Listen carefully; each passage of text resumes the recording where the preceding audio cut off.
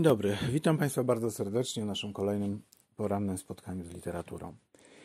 Dzisiaj znowu niestety ja, ale mam nadzieję, że już za tydzień będą mieli Państwo znów okazję usłyszeć e, Martę Kłać-Kocot, a może nagramy wreszcie to, co sobie obiecujemy od dawna, czyli naszą wspólną rozmowę o literaturze, bo myślę, że taka Formuła 1, ja sam, czy Marta sama i Państwo już się troszeczkę wszystkim nam może troszeczkę nas nużyć, ale dziś jeszcze z różnych względów technicznych i życiowych zapraszam Państwa na swoje wystąpienie.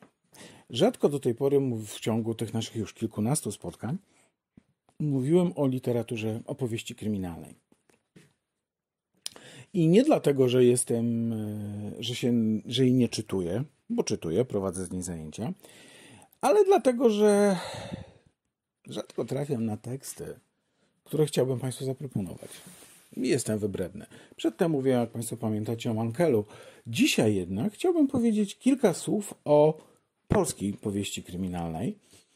Mm, przyznaję, że zrobiła na mnie ona olbrzymie wrażenie i mm, należy do gatunku, czy do podgatunków w ramach powieści kryminalnej, który w Polsce jest bardzo słabo reprezentowany. Zwykle nazywa się e, ten typ e, powieści kryminalnej etnokryminałami.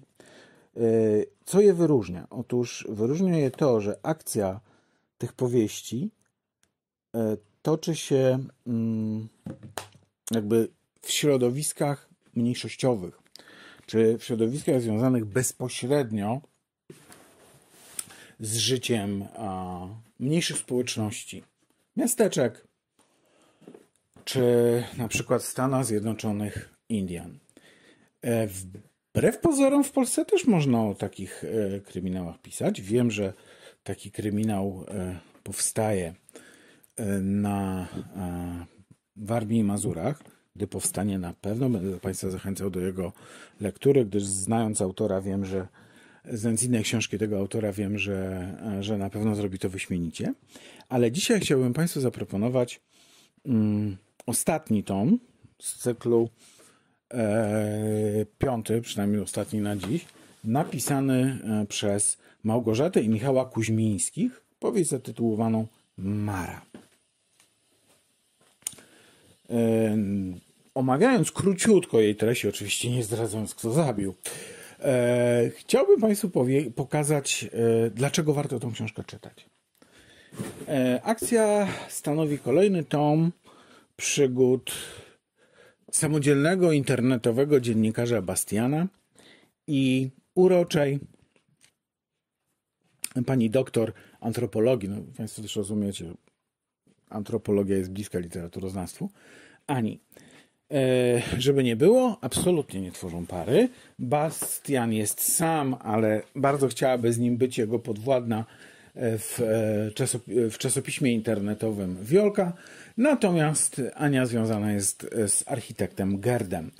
A więc można śmiało powiedzieć, że prowadzą swoje śledztwa e, jako para przyjaciół. E, mamy tam takie fajne metatekstowe stwierdzenia, gdy na przykład e, w pewnym momencie Ania stwierdza, że brakuje jej adrenaliny, która towarzyszy śledztwu. No właśnie, mm, śledztwo podwójne. E, najpierw Bastian, który mieszka, pomieszkuje e, w dawnym mieszkaniu swoich, w dawnym domu na wsi swoich dziadków, gdzieś tam na południowym wschodzie. E, dogląda domu, który przejęła jego siostra, która akurat wyjechała do Stanów Zjednoczonych i w czasie kopania basenu natrafiają na kości. Kompletnie nagie, Nikt nic o nich nie wie. Mm, Bastian oczywiście nie ma pojęcia, kości ludzkie oczywiście. Szybko okazuje się, że są to kości kobiety. Bastian nie wie, o co tu chodzi. Nie ma. Zjawia, zjawia się oczywiście jego koleżanka Ania i stwierdza: Wow, co tu biega? Nic nie rozumiem. Nie ma, te kości są nagie, nieubrane E, ktoś zakopał zwłoki bez sensu, gdyż nie ma kultury, która ukrywa zwłoki czy chowa zwłoki bez żadnych y, rytuałów pogrzebowych. I wtedy pojawia się jej w głowie, bo zaczyna to sprawdzać, wątek, tak, już Państwo się pewnie domyśliście, wątek żydowski. Oto mm, być może, podkreślam to być może dla zbyt uważnych słuchaczy, żeby nie było nieporozumień. Państwo wiedzą pewnie o co chodzi.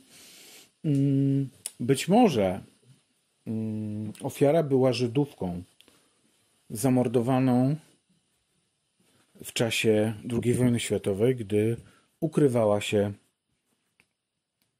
po likwidacji getta. Następnej nocy, zupełnie przypadkowo, he, no właśnie, ginie miejscowy e, pan Wężyk, bardzo typowe, takie słodkie nazwisko. Nawet jeden z Meneli twierdził, próbował złośliwie opisywać, że Wężyk chodził wężykiem. E, miejscowych e, ginie w, no właśnie w jaki sposób. To można zdradzić, bo to są pierwsze strony. Otóż e, pan Wężyk został najpierw pobity, a potem pozostawiony na ulicy, gdzie przejechał przez tego tir. Toczy się więc śledztwo. Prokurator mm, oczywiście zaczyna prowadzić śledztwo w sprawie zabójstwa. Czy te dwie sprawy się ze sobą łączą? Okazuje się bardzo szybko, z jednej strony, że we, w miasteczku, w którym toczy się akcja powieści, była synagoga, która długo, długie lata niszczała, ale po roku 89 została odbudowana. Natomiast e, z kolei na samej synagodze i na grobie Wężyka pojawiają się nienawistne, e, antysemickie napisy. Co więcej, mm, Bastian, na którego działce znaleziono zwłoki, znaleziono kości, kości e, kobiety, pisze do swojej gazety bardzo emocjonalny tekst, zastanawiając się nad tym, co tu się wydarzyło tak naprawdę w czasie II wojny światowej. Nawet z tego krótkiego przeglądu zaczynacie Państwo widzieć, na czym polega etnokryminał. Nie jest to zwyczajna zagadka kryminalna. W innych tomach e, napisanych przez e, Kuźmińskich mm, pojawiają się kwestie górali, kwestie Romów, a więc jakby y, za każdym razem umieszczają akcję w bardzo konkretnym środowisku, w bardzo konkretnej społeczności, która mm, jak każda społeczność, ma swoje tajemnice. I poprzez zagadkę kryminalną, w tym wypadku. Z jednej strony zabójstwo pana Wężyka, faktycznie miejscowego, hmm, czy alkoholika to nie jest takie do końca powiedziane, ale Wężyk był niespełnionym historykiem, bardzo chciał pracować e, w synagodze, ale mu nie wyszło Y, bo, bo przy synagodze jakby powstał ośrodek y, pamięci e, sponsorowany przez państwo i przez Unię Europejską, w którym oczywiście pracują miejscowi Polacy, którzy, którzy jakby pielęgnują pamięć o, o przeszłości, bardzo słusznie. E, z drugiej strony mamy te kości znalezione na, na posesji. Żeby było jeszcze ciekawiej, Mm, autorzy od czasu do czasu w narracji pojawiają się wrzutki z e, wcześniejszej epoki. Pojawiają się wrzutki e, z lat wojny. E, bohaterowie tych wrzutek już nie żyją. Bastian, który prowadzi prywatne śledztwo, ale też śledztwo dziennikarskie, a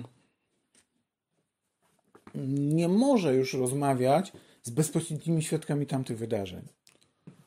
Dziadkowie umarli, jego dziadkowie umarli, umarła, umarła też e, umarła część wujów, ciotek. Okazuje się, że z pokolenia dziadków, którzy najlepiej by pamiętali tamte wydarzenia, została tylko jedna ciotka, ale ona w czasie wojny była malutka. Cóż więc możemy ona powiedzieć? E, w pewnym momencie jego ciotka, ciotka Bastiana, nie siostra babki, mm, dość nieoczekiwanie, ona była starszą siostrą, e, starszą siostrą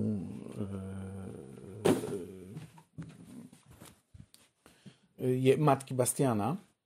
Mm, otóż starsza ciotka wręcza Bastianowi dziwny pierścień, który otrzymała w dniu ślubu od matki, czyli babki Bastiana.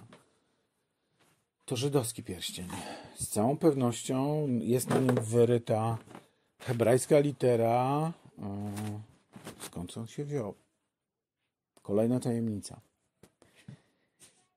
Oczywiście reakcja społeczności na odkrycie mm, tajemnic, tajemnic które skrywa, skry, skrywają się w tej ziemi, jest różna, najczęściej, jak się domyślamy, negatywna. To wszystko tylko treść już jest interesująca, ale przyznaję, że rzadko czytałem, zwłaszcza polskie kryminały, w których autorzy z taką pieczołowitością podeszliby do szczegółu. To jeden z tych rzadkich przypadków, kiedy mm, po pierwsze język, którym się posługują, buduje świat. To jest w ogóle dla mnie bardzo ważne. E, gdy czytam literaturę, mm, zresztą wspominałem o tym już mówiąc o Radku Raku, oczekuję, że autor e, nie będzie mi relacjonował opowieści, tylko będzie mi opowiadał świat, również samym językiem.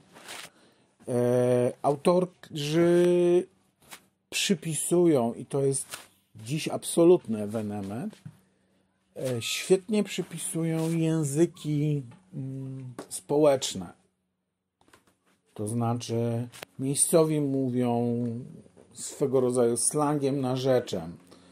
E, wuj Bastiana ma, co prawda, postać epizodyczna, ale ma nieporu, nie, nieprawdopodobnie specyficzne poczucie humoru. Bardzo ciętego, wręcz czarnego, ale jest bez wątpienia postacią, że go zapamiętujemy, jest postacią charakterystyczną. E, widzimy proces twórczy w pewnym momencie, gdy Bastian próbuje napisać tekst i nie bardzo mu to wychodzi. Z drugiej strony e, widzimy, jak e, Ania, czyli nasza pani antropolożka, jest poddawana przesłuchaniu przez dziennikarkę, która w dużej mierze lekceważy ją, bo potrzebuje tylko tematu. To wszystko widzimy w tekście, choć nie jest to nam bezpośrednio nazwane to jest ten element e, literatury, który ja bardzo cenię, zwłaszcza w literaturze popularnej, która generalnie uwielbia wszystko nazywać. Tymczasem kuźmińscy starannie tego unikają. Nie mo, możemy się domyślać e, na podstawie tego, co mówią, jak wygląda rzeczywistość, jakie są emocje bohaterów, ale to wszystkiego, to, do tego potrzebujemy tego minimum e, inteligencji. I o to oczywiście E, w tym chodzi. Zapraszam Państwa oczywiście zarówno do czytania Mary, jak i innych e, kryminałów napisanych przez Kuźmińskich, bo wydaje mi się, że e, z jednej strony są dobrze napisane, jak powiedziałem, a z drugiej poruszają tematy bardzo współczesne. Na przykład w Marze pojawia się kwestia nieszczęsnej ustawy IPN z 2018 roku. Widzimy, jak nową mamy powieść. E, I nie jest to przypadek. E, ponieważ akcja toczy się, bezpośrednia akcja toczy się absolutnie współcześnie. I tym zachęcającym, mam nadzieję, Państwa akcentem kończę dzisiejsze e, spotkanie i do zobaczenia za tydzień.